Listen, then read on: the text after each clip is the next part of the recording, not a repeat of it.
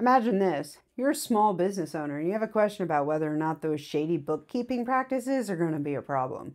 You don't really feel like checking with a professional though, because retainers are expensive. So you do the next best thing, which is that you go on to AI and ask if you're a criminal there instead.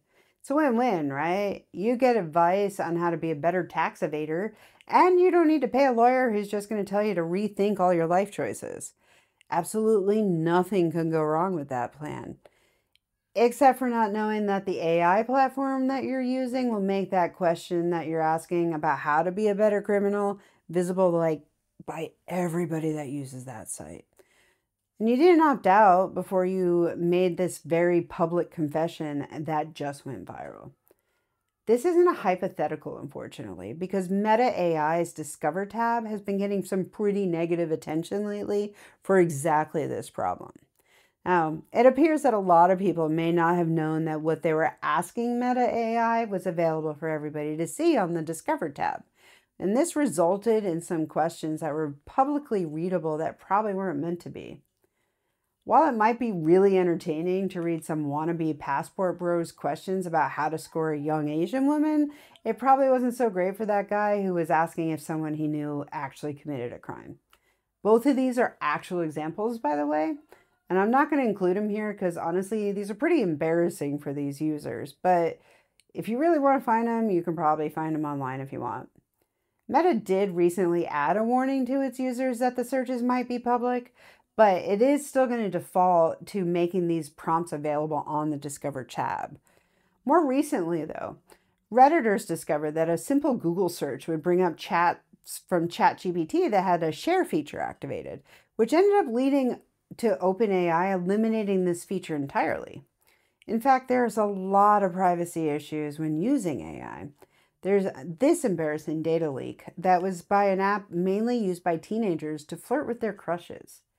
A lawsuit currently going on in the EU claims that Bumble accesses dating profiles to help you craft the perfect date pickup line using AI.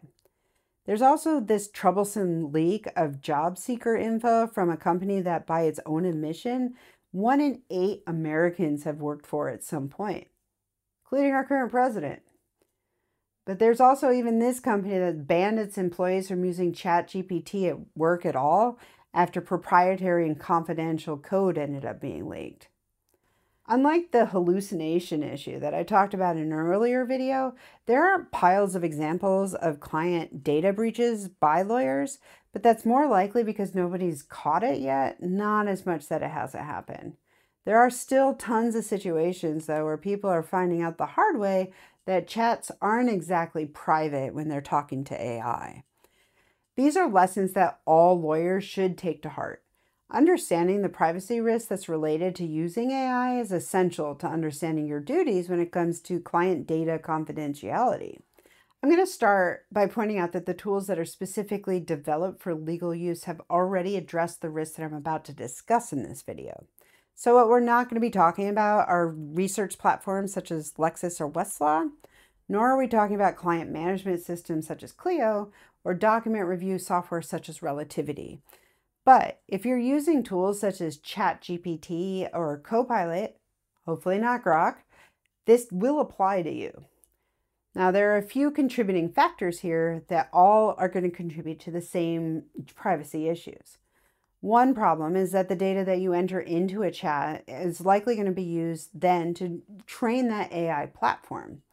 So, to give you an example, let's say you entered info into ChatGPT about your influencer client to help write a contract for them.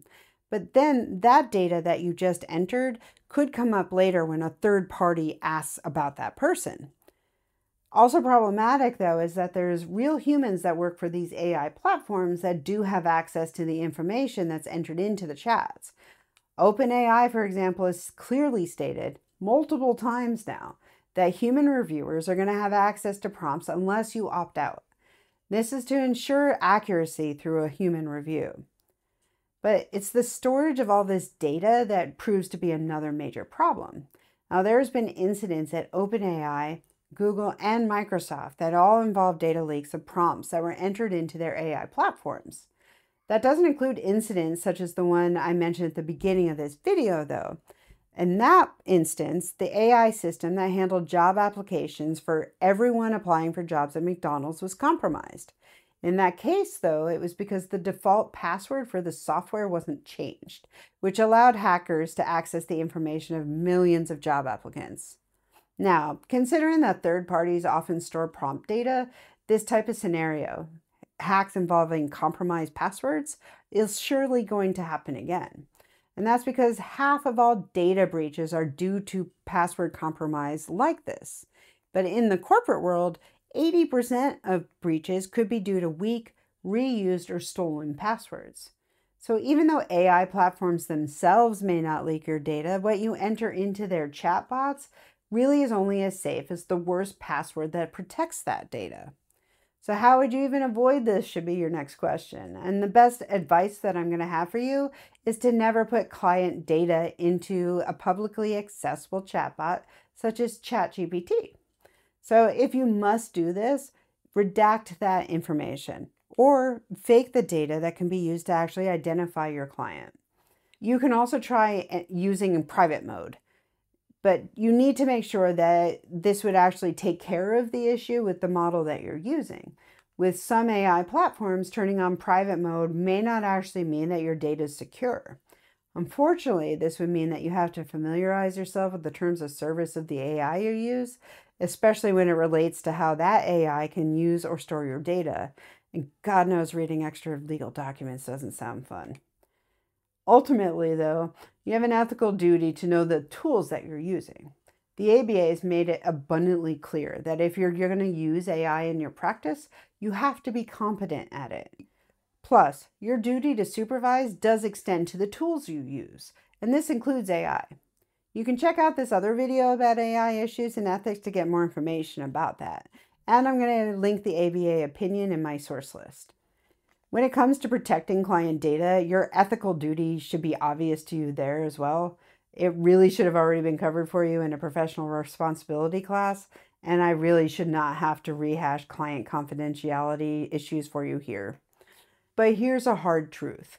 AI has gotten so ingrained in every tool that you use as a lawyer that it's not optional any longer to learn at least the basics of it.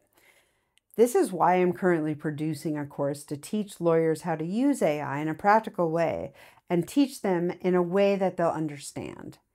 If you subscribe to this channel and sign up for the email list, you're going to know when that course drops. So far, it's looking like mid October 2025. For signing up for the email list, you're going to get a free guide on how to use AI in your practice and not end up getting disbarred. Drop a comment below. Are you AI curious? Are you flirting with a chatbot or are you going to ghost it like that bad Bumble date? If you found this video helpful, hit that like button. It helps other lawyers like you see it. And share this video if you know someone who might confess to malpractice on Meta AI's discovery page. Hit that notification bell to know when I launch more lessons to help you use AI with confidence without risking your law license.